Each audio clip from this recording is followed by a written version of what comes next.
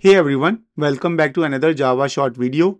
Today's topic is what causes memory leaks in Java.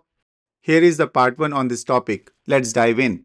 A memory leak happens when an application unintentionally retains objects that are no longer needed, preventing the JVM from freeing up that memory during garbage collection. As a result, memory usage grows, potentially leading to out-of-memory error. Now let's look at some common causes of memory leaks in Java. Whenever an object is referenced by a static field, it's tied to a class loader that essentially lives for the entire lifetime of the application. For example, here the cache is a static list of objects, and when we add an object to this cache, this object stays in the memory unless removed.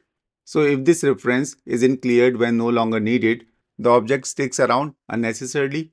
So the solution to this problem is that we always clean up or limit the size of the static collections. Another cause of memory leak is when an object registers itself as a listener or an observer, for example for events, but isn't explicitly unregistered and it holds a reference that keeps in memory. For example, here a listener is added to the list of listeners of the button click. But later, even if the listener is no longer needed, it will stay in memory because it is added to the list of button click listeners. So to fix this, we should always remove the listeners or observers when they are no longer needed. Another cause of memory leak can be when the inner classes and anonymous classes implicitly hold a reference to their enclosing class.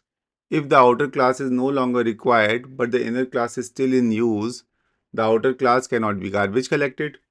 For example, inside the doWork method, we create an anonymous inner class as a runnable instance, which holds implicit reference to the enclosing instance of the outer class.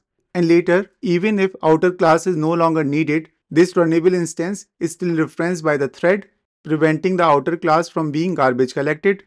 So to fix this, we should always use static nested classes or explicitly remove the reference to the outer class. And there are even more reasons for memory leaks. To know more, please refer part 2.